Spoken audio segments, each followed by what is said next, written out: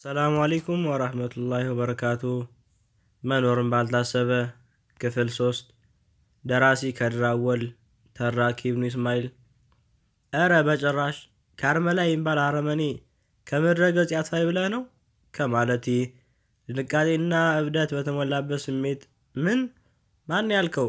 ካርመላ ካርመላ እያለ መጮህ ጀመረ። በሁኔታው በጣም ተደናገጥኩ። የማደርገው ቅጡ ጠፋኝ። እንደምንም ብዬ አግባብቼ ቀስ አድርጌ እንዲቀመጥ አደረግኩ። ከዛም ምን ሆነ ነው አልኩት። ከእግሬ ስር ተንበርክኮ ይቅር በለኝ እባክህን ይቅር በለኝ ልጄ እያለ የማጸነኝ ጀመር። ምንም ነገሩ ስላልገባኝ አረ ጋሽ አይሃም ራስህን ተቆጣጠር፣ ምን እያደረክ ነው? አንተ ምን አድርገኛል ብለው ሊሰማኝ አልቻለም። እሺ በስርዓት አስረዳኝ አልኩት። ነምሩድ ልጅ እንዳለው አላውቅም ነበር። ለፖሊስ ባለማጋለጤም ጥፋተኛ ነኝ። ግን እመነኝ ሳልፈልግ ቀርቼ ሳይሆን ማስረጃ ስላልነበረኝ ነው አለ እምባውን እያንጠባጠበ። እኔ ግን ነገሮች ይበልጥ ተወሳሰቡብኝ። ምን ለማለት ፈልገ ነው አልኩት ኮስተር ብዬ። ባለፈው ታስታውሳለህ?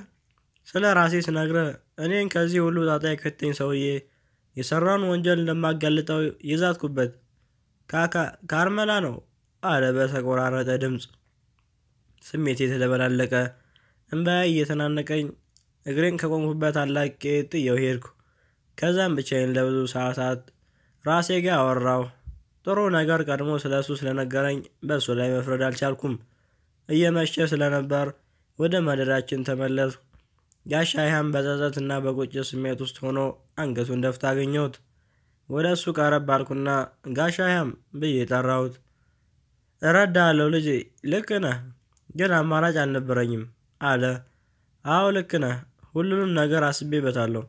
ቢያንስ አሁን እንጦሮንጦስ ለመክተት አናንስም። አሁን ሁለት ሆነናል።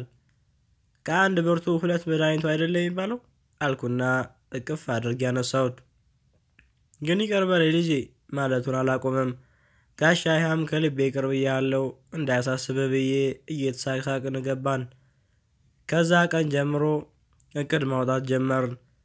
ሁሉም ነገር አንድ በአንድ እንዴት አድርገን መበቀል እንዳለብን ሙሉ ፕላኑን አዘጋጀን። እንደዚህ አይነት እቅድ ፊልም ላይ ነበር ያየሁት። አሁን በገሃዱ ዓለም ልጋፈጠው ነው። ቀናቶች እየተቀያየሩ ወራቶች አለፉ። እነሆ ዛሬ ጋሽ አይሃም ጋር ከተገናኘን ሶስት ወር አለፈን። ዛሬ ለእኔ ታላቅ ቀን ነው። ከስድስት ዓመት በላይ ከመሸኩበት ጫካ ወጥቼ በድጋሚ ኑሬም ባልታሰበው መንገድ ልመራ ለመውጣት እየተዘጋጀን ነው። ይህ ነገር ለእኔ በጣም ትልቅ እድል ነው። በህልሜ እንኳን አለሜ የማላውቀው ነገር። ከጫካው መውጣታችን ደግሞ የበቀል ጅማሬውን ማብሰሪያ ነው። ዋሻችንን ተሰነባብተን ከጫካው ወጣን። ከእስር የተለቀቅኩ ያክል ነበር የተሰማኝ። ቅጠሎችን እና አረጎችን አልፋ ከኔ የምትደርሰው ፀሐይ ዛሬ በፎቆች መካከል በነፃነት ከዓመታት በኋላ ተያየን። ከኪሱ ውስጥ ለወራት እየተቆራመደች በቆየችው አምሳ ብር ታክሲ ይዘንባት ወደ ቤቷ አመራን። አቤት የሰው ነገር!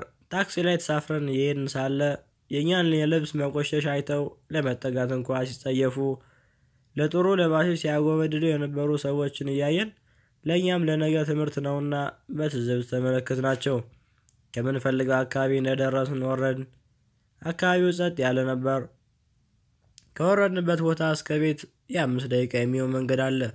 ወደ ሰፈሩ ውስጥም እየገባን እያለ ሰዎች እየዞሩ በዚህ ባለሀብት ሰፈር ውስጥ እነዚህ ቡትት ለባሽ ሰዎች ምን ያሰራሉ በሚል አስተያየት ያዩናል። ግን እኮ አብዛኛው የሰው ልጅ ስንባል የሰውን ማንነት በልብስ ነው የምንለካው እያልኩ ለራሴ እየነገርኩ ከቤቱ ደረስን መሰለኝ። ጋሽ እዚህ ጋ ነው ብሎ ወደ በራፉ እንድጠጋ ያመላከተኝ። ከዛም የጥሪ ደወሉን ተጫነው። ማን ነው? መጣን መጣን የሚል ጎርነን ያለ ድምፅ ከወደ ውስጥ ሲናገር ይሰማል። ከዛም በሩ ተከፈተ። እንደጠበቅኩትም የገጠር ሰው አክት ያለው ጎልማሳ ሰውዬ ነው። ምንድን ነው? ምን ፈልጋችሁ ነው? አለ። ትዝብቴ በዛብኝ። እንደው በአክብሮት እንኳ ቢያናግረንስ ለነገሩ የጋሻ አይሃም ጺሙና ጸጉሩ ስላደገ መለየት ያቃተ ይመስላል። ከዛም ጋሻ አይሃም ምንም ሳይናገር ፈገግ አለ። የዛኔ እንዴ ጋሼ ነህ እንዴ አለና ዘሎ ወጣበት። የመንከስ ያክል አዟዙሮ አዟዙሮ ሳመው። ወደ ውስጥ ገባ ብሎ እልልታውን አቀለጠው። ልጆቹ ምን ሆነ ብለው እየተሯሯጡ ሲመጡ አባታቸው ነው። አባቢ አባቢ እያሉ መጥተው ወጡበት። እየሳሙ አቅፈው ምን ሆነ ነው እያሉ ያካለቡ ይዘውት ሊገቡ ሲሉ ና እንጂ ግባ አትፍራ አለኝ። አንደኛዋ ልጅ ቀጠል አድርጋ ማነው አባቢ አለችው። ውራል ይባላል። ከአሁን በኋላ እኛ ጋር ነው የሚኖረው። በደንብ የረፍና ተዋውቁታላችሁ። አሁን ግቢና ክፍሉን አሳዩ፣ ሻወርም ይውሰድ አላት። እሺ ወንድም ውራል ኒሃል እባላለሁ ግባ አለችኝ። ውበቷን አይቶ አለማድነቅ ይከብዳል። እንደ መሽኮርመም እያደረገኝ እሺ ብዬ ወደ ውስጥ ስንገባ ትንሿ ልጅ ማሚ ማሚ አባቢ መጣ እያለች ቤቱን በጩኸት ቀወጠችው። ሚስቱም ከሩጫ ባልተናነሰ መታ ተጠመጠመችበት። እዚህ ላይ ግን አንድ ነገር ተረዳው። በምን አይነት ሁኔታ በፈገግታ ሰላም አለችን እያልኩ ተገረምኩ። ከዛም ኒሃል ክፍሌን ልታሳየኝ ደረጃውን መውጣት ስንጀምር እንኳን ደህና መጣ ውድ ጓደኛዬ የሚል ማፌዝ የተሞላበት የወንድ ድምፅ ሰማው። ቶሎ መለስ አልኩና የሰውየውን ማንነት ሳይ ያቺ ቤተሰቦችን ያጣሁባትን ምሽት አስታወስኩ። ሽጉጥ ደቅኖ ሲዝት የነበረው ሰውዬ ካርመላ።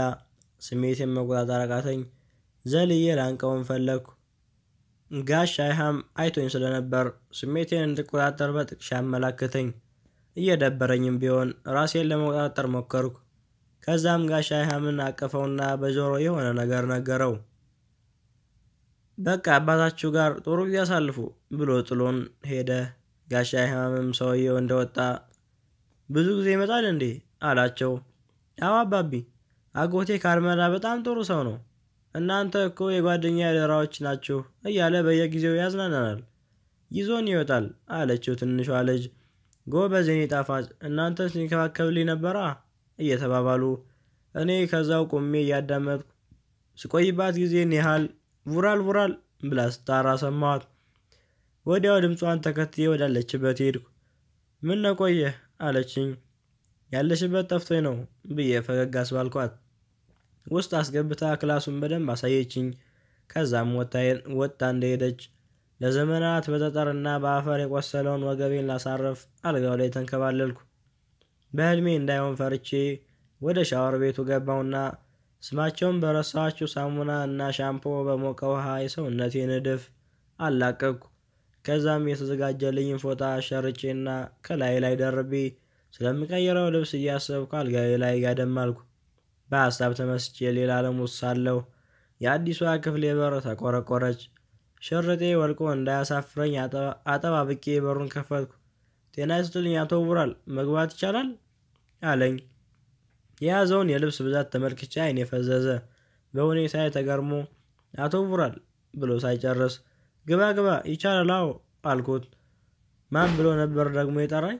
አቶ ውራል ሆ ከአልጋው ፊት ለፊት አቅጣጫ ከተገተረው ቁም ሳጥን ቻል አትቻል እያለ ሁሉንም የያዘችውን በቦርሳ የያዛቸውን ሽቶና ቅባቶች እዚህ ጋር ላድርጋቸው አለኝ።